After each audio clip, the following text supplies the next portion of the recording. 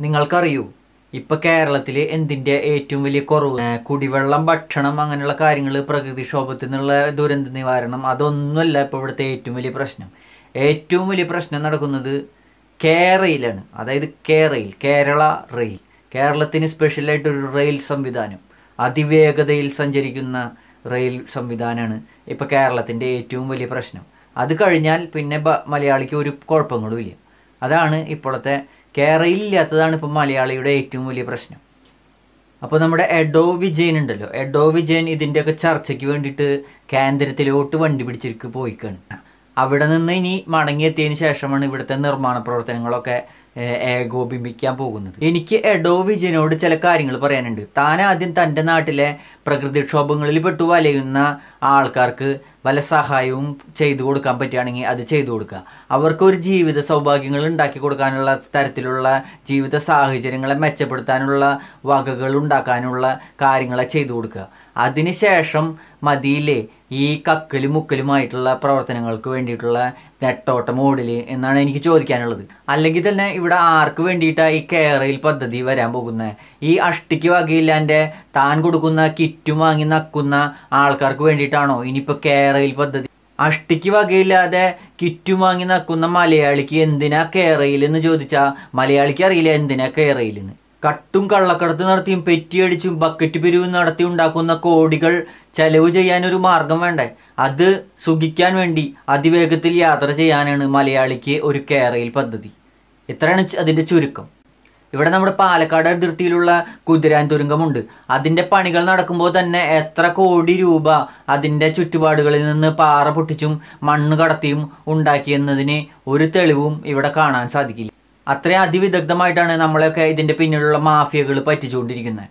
അതൊക്കെ അറിയുന്നുണ്ടോ മലയാളി? നിസ്സാരം ഒരു അഞ്ച് കിലോമീറ്റർ പാതയിലുള്ള ഒരു തുരങ്ക നിർമ്മാണത്തിന് ഇത്രയും വലിയ ഖനനവും അതുപോലെ പാറപൊട്ടിക്കലും അതുപോലെ മണ്ണ് നടന്നു കഴിഞ്ഞു. അപ്പോൾ കേരളത്തിലുടനീളം കേരളത്തെ രണ്ടായി പിളർക്കുന്ന ഒരു പാത കേരളയിൽ വന്ന് ചേരുകയാണെങ്കിൽ അതിന്റെ പേരിൽ എന്തൊക്കെ കള്ളത്തരം ഇവിടെ നടക്കുമെന്നുള്ളത് ദൈവത്തിന് മാത്രമേ ഇന്ന് ചിന്തിക്കാൻ പറ്റുള്ളൂ.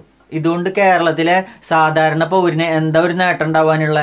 ഒരു നേട്ടം ഉണ്ടാവാൻ പോണില്ല ഇവിടെ കൊച്ചി മെട്രോ റെയിൽ എന്ന് പറയുന്ന ഒരു റെയിൽ വന്നു.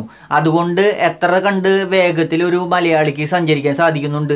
ഈ കൊച്ചി റെയിലിന്റെ മെട്രോ മെട്രോ റെയിൽ പദ്ധതി വന്നതിന് ശേഷം കേരളത്തിലെ മലയാളിയുടെ വേഗത എത്ര കൊണ്ട് കൂടിയെന്ന് ചോദിച്ചാൽ കൊച്ചി മെട്രോ റെയിൽ യാത്ര ചെയ്തിട്ടുള്ള ഒരു പൗരൻ എന്ന നിലയിൽ നമുക്ക് അറിയാൻ പറ്റും. അതിന്റെ എത്ര വേഗതയിലാണ് ഒരു പൗരന് സഞ്ചരിക്കാൻ സാധിക്കുക എന്നുള്ളത്. ഇവിടുത്തെ കൊച്ചി മെട്രോ റെയിലിൽ നമ്മൾ നൽകുന്ന പൈസ ബാംഗ്ലൂർ മെട്രോ റെയിൽവേ സ്റ്റേഷനിൽ നമ്മൾ നൽകുന്ന പൈസയും ആലോചിച്ച് നോക്കുകയാണെങ്കിൽ നമുക്ക് അവിടെ സഞ്ചരിക്കാവുന്ന ദൂരം അവിടെ സഞ്ചരിക്കാവുന്ന വേഗത. അതിന്റെ നാലിലൊരു ഭാഗം വേഗത പോലും ഇവിടെ സഞ്ചരിക്കാൻ സാധിക്കുന്നില്ല. അതിനേക്കാൾ കൂടുതൽ പൈസ ഇവിടെ നമ്മുടെ കയ്യിൽ നിന്ന് പിടിച്ചു വാങ്ങിക്കൊണ്ടിരിക്കുകയാണ്. ബാംഗ്ലൂർ മെജസ്റ്റിക് മുതൽ ബൈപ്പനഹള്ളി വരെയുള്ള സ്ഥലത്ത് യാത്ര ചെയ്യുന്നതിന്റെ സ്റ്റോപ്പുകളെക്കാളും വളരെയധികം കൂടുതൽ സ്റ്റോപ്പുകളാണ് ഇവിടെ കൊച്ചിയിൽ അനുവദിച്ചിട്ടുള്ളത്. പിന്നെ ഈ മെട്രോ റെയിൽ കൊണ്ട് എന്താണ് ഉദ്ദേശിക്കുന്നത്? എത്രയും കുറഞ്ഞ സ്റ്റോപ്പുകൾ വെച്ച് എത്രയും വേഗത്തിൽ യാത്ര ചെയ്യുക എന്നുള്ളതാണ് നമ്മുടെ മെട്രോ റെയിൽ കൊണ്ടൊക്കെ നമുക്കുള്ള ഉപകാരം. അതൊന്നും ഇവിടെ നടക്കുന്നില്ല. ഇരട്ടി പൈസയും കൊടുക്കേണ്ടി വരിക. കേരളത്തിന്റെ അങ്ങേയറ്റം മുതൽ ഇങ്ങേയറ്റം വരെയുള്ള നിർമ്മാണ പ്രവർത്തനങ്ങൾ നടത്തി കേരളത്തെ രണ്ടായി മുറിച്ചുകൊണ്ട് ഈ റെയിൽ പദ്ധതി കടന്നു പോകുമ്പോൾ അതിൽ പ്രകൃതിക്ക് എന്തൊക്കെ ദോഷങ്ങൾ സംഭവിക്കുമെന്ന് നമുക്കൊക്കെ ചിന്തിച്ചാൽ ഇപ്പോൾ മനസ്സിലാക്കാൻ പറ്റില്ല. അത്രയും രൂക്ഷമായിരിക്കും അതിന്റെ പ്രത്യാഘാതങ്ങൾ ഉണ്ടാകും കർഷകർക്ക് വേണ്ടി കൊടി പിടിക്കുന്ന ഈ പാർട്ടി തന്നെ കർഷകരെ ഇല്ലായ്മ ചെയ്യുന്ന നയങ്ങളാണ് ഇപ്പോൾ സ്വീകരിച്ചുകൊണ്ടിരിക്കുന്നത് കേരളത്തിൽ എന്നിട്ട് കേരളത്തിൽ നിന്ന് ഉത്തരേന്ത്യയിൽ പോയിട്ട് കർഷക സമരത്തിന് സപ്പോർട്ട് എത്ര കണ്ട് വയലുകൾ നികത്തേണ്ടി വരും? എത്ര കണ്ട് കുന്നുകൾ നികത്തേണ്ടി വരും? ഇതുകൊണ്ട് എത്ര കർഷകർക്ക് ദോഷമുണ്ടാക്കും? അതൊക്കെയാണ് നമ്മൾ ചിന്തിക്കേണ്ടത് ഈ പദ്ധതി കൊണ്ട് നമുക്ക് എന്താണ് നേട്ടം ഉണ്ടാവണേ? ഇപ്പം തന്നെ കേരളത്തിൽ വേഗത്തിൽ യാത്ര ചെയ്യാൻ നമുക്ക് അത്യാവശ്യത്തിനുള്ള സൗകര്യങ്ങളൊക്കെ ധാരാളമുണ്ട്. എന്നിട്ട് ഇതിനേക്കാൾ വേഗത്തിൽ യാത്ര ചെയ്യാനൊരു അങ്ങേറ്റം മുതൽ ഇങ്ങേറ്റം വരെ ഒരു കേരളയിൽ പദ്ധതി അതിന്റെ ഉദ്ദേശം എന്താണ്? അതുകൊണ്ട് ഒരു സാധാരണ പൗരന് എന്ത് നേട്ടം ഉണ്ടാകുമ്പോൾ ഉണ്ട് അതാണ് നമ്മൾ ചിന്തിക്കേണ്ടത് അന്നന്നത്തെ അന്നം കഴിക്കാൻ വേണ്ടി ഇരതേടുന്ന ഈ മലയാളിക്ക് എന്ത് മെച്ചമാണ് ഈ കേരളയിൽ പദ്ധതി കൊണ്ട് ഉണ്ടാക്കാൻ പോകുന്നത്? ഇനിയും പൂർത്തീകരിച്ചിട്ടില്ലാത്ത അനേകം പദ്ധതികൾ പാതി വഴിയിൽ ഉപേക്ഷിക്കപ്പെട്ടിരിക്കുകയാണ്.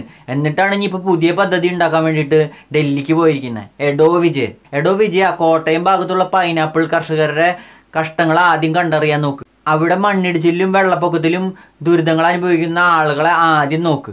അതിനുശേഷം മതി കേരളത്തിലെ സാധാരണ ജനങ്ങൾക്ക് അതിവേഗത്തിൽ സഞ്ചരിക്കാൻ കേരയിൽ പദ്ധതി.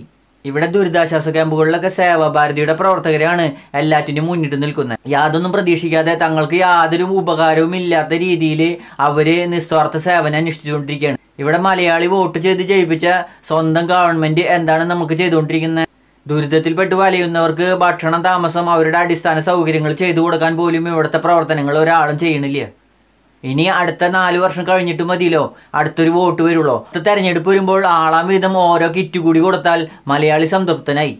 മലയാളിക്ക് യാതൊരു പ്രശ്നവുമില്ല. ഈ കേരയിൽ പദ്ധതി കേരളത്തിൽ അങ്ങോട്ട് നടപ്പിലാക്കിയാൽ ഇവിടുത്തെ ജനങ്ങളുടെ എല്ലാ പ്രശ്നങ്ങളും തീർന്നു. ഇവിടെ ലാൻഡ് മാഫിയകൾക്കും കോൺട്രാക്ടർ മാഫിയകൾക്കും അതുപോലെ രാഷ്ട്രീയ മാഫിയകൾക്കും കോടികൾ മുക്കാനുള്ള ഒരു സംരംഭമാണ് ഈ കേരയിൽ പദ്ധതി എന്നുള്ളത്. ഇപ്പൊ തന്നെ നമുക്ക് ചിന്തിച്ചാൽ അറിയാവുന്ന കാര്യമുള്ളൂ. അനേകം ജനങ്ങൾക്ക് അവരുടെ കൃഷിസ്ഥലം നഷ്ടപ്പെടും അവരുടെ താമസ സ്ഥലങ്ങൾ നഷ്ടപ്പെടും. അതുപോലുള്ള കാര്യങ്ങൾ മാത്രമേ ഇതുകൊണ്ടൊരു മെച്ചം ഉണ്ടാവാനുള്ളൂ അല്ലാതെ മലയാളിക്ക് ഇതുകൊണ്ടൊന്നും ഒരു മെച്ചം ഉണ്ടാവാൻ പോണില്ല. ഇവിടെ കർഷകർക്ക് ആറായിരം രൂപ രണ്ടായിരം രൂപ വീതമുള്ള ഗഡുക്കളായിട്ട് നൽകും എന്ന് പറഞ്ഞപ്പോൾ മോദി നിങ്ങളുടെ സ്ഥലം ജപ്തി ചെയ്ത് കൊണ്ടുപോകും എന്ന് പറഞ്ഞ് പ്രചരിപ്പിച്ച അത്തരത്തിൽ മോദിക്കെതിരെ പ്രചരിപ്പിച്ച അതേ പാർട്ടിക്കാരാണ് നിങ്ങളെയൊക്കെ നിങ്ങളുടെ സ്ഥലത്ത് നിന്ന് ഇറക്കി വിടാൻ വേണ്ടി കച്ചകെട്ടി ഇറങ്ങിയിരിക്കുന്നത്. അത് നിങ്ങൾ മനസ്സിലാക്കിയ നല്ലതാണ് കുറച്ച് നാളുകൾക്ക് മുന്നേ ശബരിമലയിലെ ഭീമാനത്താവളമായിരുന്നു നോട്ടം. അപ്പൊ ആ ഭീമാനത്താവളം വരുത്തുകയാണെങ്കിൽ അവിടെ കുറെ കാര്യങ്ങൾ അതിൽ നിന്ന് നമുക്ക് കോടികൾ കൊയ്യാമായിരുന്നു ഏഹ് ടൂറിസം പ്രമാണിച്ച് അവിടെയുള്ള വന്യ വിഭവങ്ങൾ ഒരുപാട് കിട്ടും. അതുപോലെ ചന്ദനം അതുപോലെ വിലപ്പെട്ട മരങ്ങൾ ഇതൊക്കെ വൃത്തിയാക്കി അവിടുന്ന് തുടച്ചു മാറ്റി അതിൽ നിന്ന് ഒരുപാട് ഉണ്ടാക്കാമായിരുന്നു. പിന്നെ അത് കഴിഞ്ഞാൽ പിന്നെ അടുത്തത് എന്ന് പറഞ്ഞാൽ ഭൂമി നികത്തലുമായി ബന്ധപ്പെട്ട് അവിടുത്തെ മണ്ണ് നീക്കം ചെയ്യലും ഭൂമി ഒരുക്കങ്ങളുമായി ബന്ധപ്പെട്ടും അതിൽ നിന്നും ഒരുപാട് കോടികൾ കോൺട്രാക്ടർമാർ മുഖേന ഉണ്ടാക്കാമായിരുന്നു. അതുകൂടാതെ ഇവരുമായി യോജിച്ചു നിൽക്കുന്ന പല മതങ്ങളിൽ നിന്നുള്ള ഫണ്ടുകളും പ്രതീക്ഷിക്കാമായിരുന്നു. ഇപ്പോൾ അത് ഏകദേശം അടച്ചു പൂട്ടി കെട്ടിയ അവസ്ഥയിലാണ് ഇപ്പൊ ഇരിക്കുന്നത്. തുറക്കാൻ പറ്റാത്ത അവസ്ഥയിലായിട്ട് ഫയലുകൾ കുരുങ്ങിപ്പോയി എന്നാണ് കേട്ടത്. അത് കഴിഞ്ഞു. ഇപ്പോൾ വേറൊരു പദ്ധതി കൊണ്ട് വന്നേക്കാണ്. എന്താണ് ആ പദ്ധതി? ആ പദ്ധതിയാണ് ഈ കേരയിൽ പദ്ധതി. കേരളത്തെ മുറിക്കുന്ന കേരയിൽ പദ്ധതി. നമുക്കിപ്പോൾ പ്രത്യക്ഷത്തിൽ കാണാൻ സാധിക്കാത്ത പല നിഗൂഢതകളും ഇതിന്റെ പിന്നിൽ ഒളിഞ്ഞിരിക്കുന്നുണ്ടായിരിക്കും. അതൊക്കെ വഴിയെ പുറത്തു വരും. ഇത് നടന്നില്ലെങ്കിലും നടന്നാലും അതൊക്കെ വഴിയെ പുറത്തു വരും. ഇനി അടുത്തത്. ഇനിയിപ്പോൾ ഇതെങ്ങാനും നടക്കാതിരിക്കുകയാണെങ്കിൽ അടുത്ത പദ്ധതി എന്താണെന്ന് നിങ്ങൾക്ക് ഊഹിക്കാൻ പോലും പറ്റില്ല. അത് ഞാൻ നിങ്ങൾക്ക് വേണമെങ്കിൽ ഇപ്പൊ തന്നെ പറഞ്ഞു തരാം. അതെന്താണെന്ന് അറിയൂ അത് ഇവിടുന്ന് കേരളത്തിൽ നിന്ന് മലയാളികൾക്ക് നടന്നു പോകാൻ തരത്തിൽ ശ്രീലങ്കയിലേക്ക് ഒരു പാലം. അത് രാമൻ പണ്ട് ഏഴായിരം വർഷങ്ങൾക്ക് മുന്നൊക്കെ രാമൻ കെട്ടി എന്ന് പറയുന്ന സേതുബന്ധനമുണ്ടല്ലോ. അതിനേക്കാളും വിപുലമായിട്ടുള്ള പാലമായിരിക്കും. നടന്നു പോകാൻ താല്പര്യമുള്ളവർക്ക് ഈ അറ്റത്ത് കയറി നിന്നാൽ ആ അറ്റത്തേക്ക് തന്നെ കൊണ്ടെത്തിക്കുന്ന തരത്തിലുള്ള അത്രയും ആധുനികമായിട്ടുള്ള ടെക്നോളജിയോട് കൂടിയിട്ടുള്ള വളരെ വിപുലമായിട്ടുള്ള മഹത്തായിട്ടുള്ള ഒരു പാലമാണ് ഇനി കേരളത്തിൽ നിന്നും ശ്രീലങ്കയിൽ കേരള മഹാരാജ നിർമ്മിക്കാൻ പോകുന്നതാണെന്നാണ് നമ്മുടെ അന്തർവൃത്തങ്ങളുമായി ബന്ധപ്പെട്ട് നമുക്ക് കിട്ടിയിട്ടുള്ള വാർത്തകൾ അപ്പോൾ എല്ലാവർക്കും നന്ദി നമസ്കാരം. ജയ് ഹിന്ദ്.